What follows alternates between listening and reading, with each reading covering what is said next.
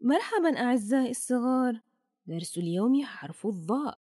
وحكايتنا عن صديقنا حافظ الذي اعتاد أن يفيق كل صباح على مواء قطته الجميلة ضاضة.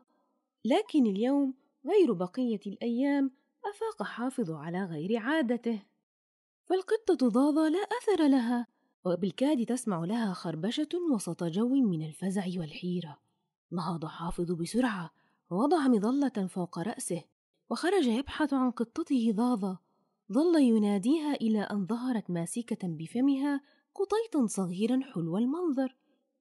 حفظت القطة صغيرها في مخبأ نظيف وآمن ثم رجعت مسرعة من حيث أتت. انتظرها حافظ فظهرت ثانية تحمل قطيطا آخر. ففرح كثيرا بما رأت عيناه وارتسمت البسمة على تقاسيم وجهه البريء. وبدل القطة أصبح لحافظ ثلاث قطط.